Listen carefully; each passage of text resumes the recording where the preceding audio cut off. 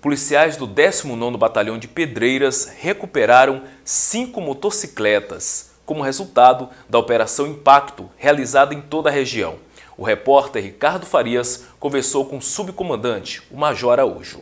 O objetivo principal dessa Operação Impacto é intensificar as ações ostensivas e preventivas, fortalecendo as abordagens policiais a todos e todas que transitam aqui nossa região, é, procurando retirar é, ilícitos, né, ilícitos e bandidos de circulação. E a gente já pode observar, a sociedade também já observa, né, é, é, essa maior intensificação do policiamento, maior número de policiais operando, de viaturas, e o resultado já começou a aparecer.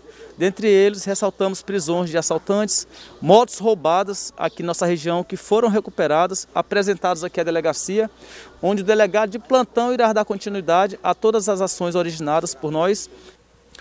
Além da cobrança do capacete e também da documentação veicular, que é obrigatória a quem possui um veículo, a Polícia Militar também tem combatido o uso de motocicletas por menores.